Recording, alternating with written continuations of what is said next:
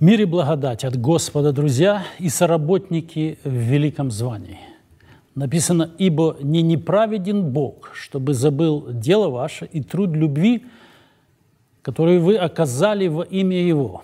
В Евреям в 6 главе написано.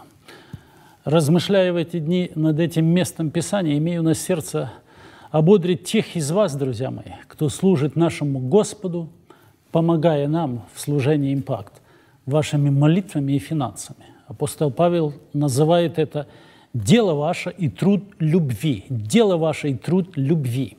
Писание говорит нам о том, что невозможно, чтобы Господь забыл об этом. Все то, что мы, как христиане, рожденные свыше, делаем во имя Его, имеет большую ценность в Его глазах, то есть в Божьих глазах. Бог Иисус – то есть Бог Отец превознес имя Сына Своего Иисуса и дал Ему имя превыше всякого имени под небом.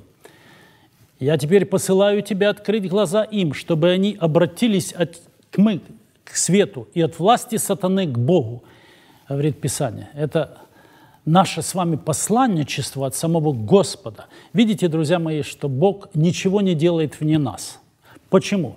Это потому, что Он уже все сделал вместо нас и ради нас. То есть Он занял то место на кресте, которое по праву и по справедливости принадлежало нам за наши грехи, за наши беззакония. Теперь наша с вами часть – продолжить начатое дело с самим Господом и Иисусом Христом. Человек, блуждая во тьме, в поисках кого-то, кто мог бы указать ему путь и выход э, ко свету, и даже имея глаза, грешник слеп. Человечество находится в положении отчаявшегося, отчаявшегося, погибающего на дне глубокого колодца. И для такого человека спасение может прийти только сверху. Псалмопевец Давид говорит и восклицает, «Помощь моя от Господа, сотворившего небо и землю». Человек находится во власти сатаны. И кто, как не мы с вами – имея посланничество от самого Бога. И все для этого полномочия укажем ему путь свободы и приведем к Богу. Нет более важной миссии в жизни христианина, чем открыть глаза им, чтобы они обратились от тьмы к свету и от власти сатаны к Богу. Никогда не забуду интервью, которое давал всемирно известный ученый, выдающийся специалист в области строение мозга человека, нейрохирург так называемый. Он говорил, он говорил о тех процессах, которые происходят в нашей голове. И эти процессы поражают своей тайною и необыкновенностью.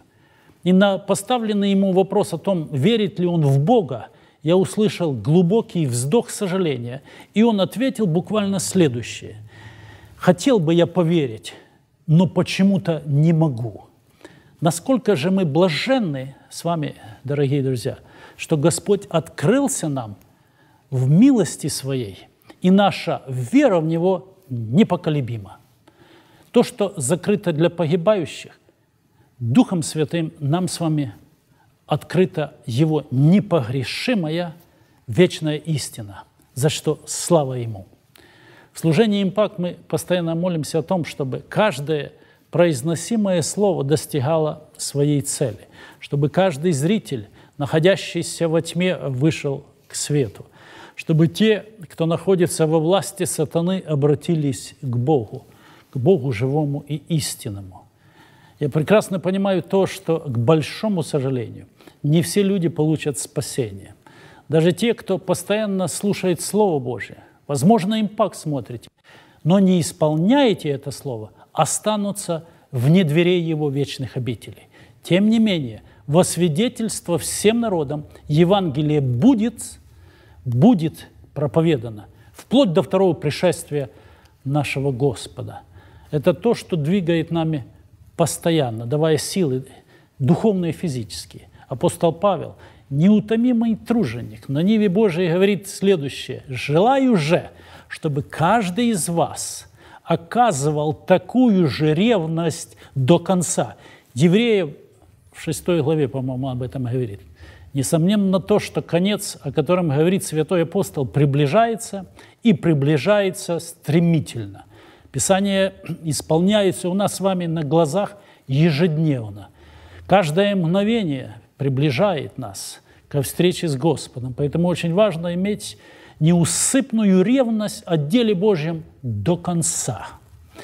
Да даст вам Бог наш, дорогие мои, мудрости, сил духовных и сил физических, а также устроение ваших домов по богатству Его благодати.